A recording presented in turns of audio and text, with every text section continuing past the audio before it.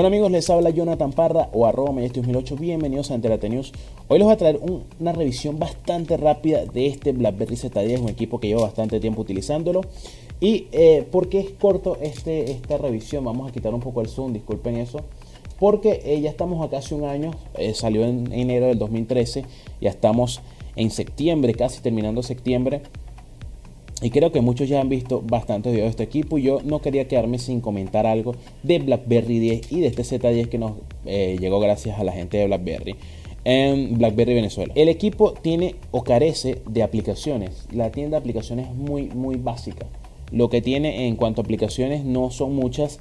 Eh, igualmente en lo que es la parte de, de juegos, quizás para esos gamers no es lo que buscan. Pero claro, en los juegos creo yo que tienen más... Eh, más opciones que en lo que es la parte de, aplicaciones quizás productivas o, herramientas para nosotros, eh, redes sociales, eh, aplicaciones ya para editar de fotos, aunque algo interesante de BlackBerry 10 es que, por ejemplo, en la cámara eh, podemos, si tomamos una foto, vamos a ver una foto que tomemos acá, vamos a tomar una foto ya mismo para que vean cómo salen. Vamos aquí tenemos que utilizar la Jure Flash, así que vamos a, a enfocar acá.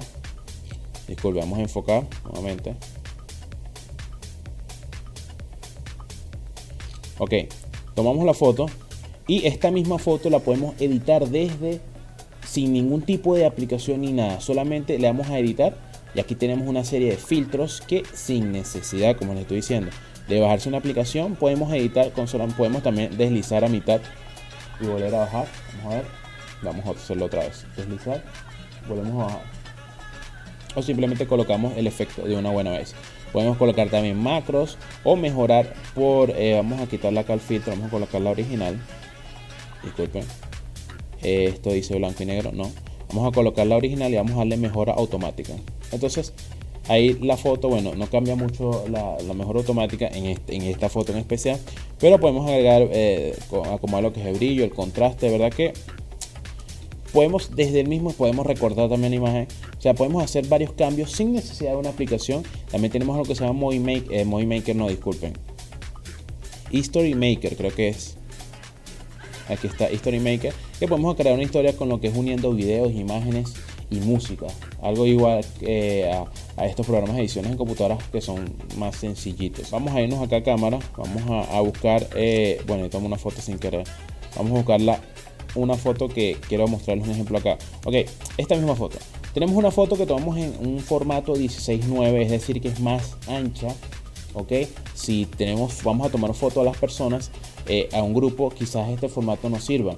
Tenemos también opción a tomar a, formato 4.3, que son más cuadraditas, no es cuadrada, pero es, bueno, nos quita un poco más lo que es la parte de los lados. Y también formato 1.1, que ya sería algo tipo para Instagram, que es completamente cuadrado. El formato que yo recomiendo es el 16.9, que es el que yo uso. Porque, por ejemplo, en este caso ven tres personas en la foto. Y, eh, o sea, no, o sea, siempre nos sobra un poquito por si a las moscas queremos añadir a alguien más. Ahora, si vamos, somos dos personas, una persona la, la foto, recomiendo un formato 4.3 eh, para que, digamos, no se vea tan feo esa, esa foto, tan, tan, o sea, ese, espacio extra. Esas son cuestiones que quizás no, no, o sea, no vamos a ponernos a, a, fijarnos a la hora de tomar una foto, pero si no los colocan, nos los colocan acá como una opción rápida, en cambiar en formato, podemos colocar 4.3 o podemos colocar 1.1 o el 19, el 16.9 que es el que yo uso. Aquí ustedes pueden ver. Ok, en lo que es la parte de video tenemos videos a 1080p, 30 eh, fotogramas por segundo y en la parte de la cámara secundaria tenemos 720p, eh, una cámara de 2 megapíxeles a 30 fotogramas por segundo. En lo que, eh, por último, en la parte de fotográfica tenemos algo llamado Time Sheet que nos permite tomar unas varias fotos. Vamos a ver cuántas son. Son como tres fotos, eh, lo que yo puedo escuchar allí. Y eh, nos permite, digamos, a nosotros, a que ustedes pueden ver, que no sé si pueden notar, pero medio se mueve la imagen. Ahí pueden ver del lado, de este lado, de este, disculpen se ve como que mi dedo. Entonces nos permite, si alguien salió con los parpadeando, no se rió, nosotros podemos, no, podemos, no sonrió, disculpen, podemos cambiar acá hasta la parte donde él haya sonreído, porque toma, eh, creo que son tres fotos, cuatro fotos de una ráfaga, pero muy cortica lo que es la, todas las fotos que tome. Así que es una opción bastante interesante que no veíamos. Eh, o sea, lo que es BlackBerry se fue apostando un poquito más por lo que es la parte multimedia y se dio cuenta que no son, son precisamente los ejecutivos, por así decirlo, los que compran BlackBerry. Algo que me gusta de BlackBerry 10 en sí es que no necesitamos ahora un servicio especializado o algo BlackBerry eh, un, BIS, servicio BIS, en el caso de las empresas BES, BES, eh, para nosotros utilizar eh, el, lo que es el PIN o, los mismos correos en, ya con solamente con Wi-Fi o con una, cualquier plan de datos podemos utilizar lo que es BlackBerry Messenger. Algo que no lo dicen, pero yo sí lo voy a aclarar, es el BlackBerry Balance. El BlackBerry Balance solamente está disponible para los que sean usuarios BES, o sea, es un servicio para empresas, digámoslo así. Ese quiere decir que cuando tú le das aquí hacia abajo, en vez de salirte esto, te sale una para que tú escojas entre tu cuenta personal y la de trabajo. Eso no está disponible para, por ejemplo, yo que soy un, una sola, o sea, no soy, otra, no soy de una empresa o algo corporativo, sino que es algo individual. O sea, a mí no me va a aparecer nunca eso porque no, no este, este equipo no está para lo que es BES o, o, para empresas, por así decirlo. No sé en verdad en ese ámbito, pero es algo bien importante que quiero aclarar. No es disponible para que tú compras el equipo y puedes organizar eso. No, eso no está disponible para todos. De hecho, fue algo que lo que me llamaba la atención y decepcionó que no era para todos y, cuando lo anuncian no aclaran eso y, bueno, es algo bien importante que debo decir. En cuanto a lo que es el, software, ya no sería Z19 el sistema operativo, no tengo ningún problema, de hecho se ven unas transiciones muy bonitas lo que es la calidad de pantalla también. Tenemos acá eh, cuando aquí cuando vamos a desbloquear. Algo bien diferente a lo que estamos acostumbrados a ver las notificaciones no están arriba sino que están de un lado.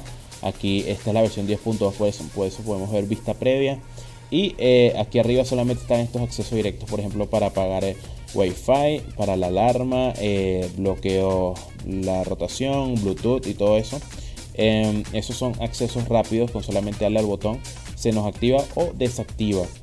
Y em, su pantalla es de 4.2 pulgadas, es una pantalla HD, es, bueno, vamos a ver acá, creo que es, es 1280 por 768, o sea, es una pantalla en HD y 356 eh, píxeles por pulgada. Eso es lo que tenemos acá, por eso vemos una pantalla bastante nítida y no vemos así esos pixelados todos extraños, porque tenemos una buena pantalla. Ya por último, porque como dije quería hacer un video corto, tenemos una, un video corto y no quedó nada corto, tenemos el, el, acabado bastante resistente. Creo yo, este equipo de verdad que es muy resistente. No se le hace propaganda a eso porque creo que no es la idea. Pero a mí se me ha caído un par de veces, más de un par de veces y el equipo aparece intacto. Y eh, de verdad que me gusta bastante eso. Bueno, ya por último, para acabar de hablar del equipo, tenemos un procesador Qualcomm Snapdragon Dual Core a 1.5 GHz, 2 GB de memoria RAM, un GPU Adreno 225 y 16 eh, GB de memoria interna expandible hasta 32 GB a través de una tarjeta micro SD. Em, por último, o bueno, un agregado más a lo último, batería de 1800 mAh, ¿ok? Y acepta memorias micro SD, como ya los dije. Y eh, la tarjeta SIM es la que son más pequeñitas, creo que es la micro SIM o mini SIM card.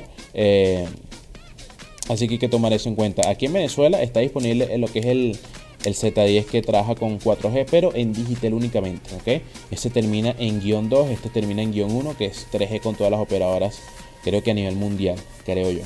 Entonces, eh, bueno gente, esto fue todo. Yo quería más, más que todo es una revisión, que ya ustedes seguro han visto bastante en internet. Quería hablar un poquito de lo que yo conozco del equipo, aprendí del equipo y aprendí que eh, me hacen falta muchas aplicaciones que no están acá, pero que aún así uno puede sobrevivir teniendo un equipo, no necesitas tampoco una inmensidad de aplicaciones, pero algo sí, las aplicaciones que están acá no son las mismas o no corren tan bien como te corre un Android o iOS, así que tomen eso en cuenta a la hora de comprar este equipo, si se lo recomiendo, verdad que no, no me puedo quejar, de hecho, como le dije, me ha caído bastante, es un caballo de batalla, este es un guerrero, este equipo por así decirlo. Eh, que, verdad sí se ha ganado eh, que, que, aún siga conmigo, por así decirlo, porque verdad que sí, es, muy bueno, es muy bueno el equipo y lo recomiendo a todos ustedes, de verdad que sí. Y, bueno, aquí seguiremos utilizándolo hasta, hasta que, que, aguante, digamos así, hasta que ya los golpes no, no puedan más.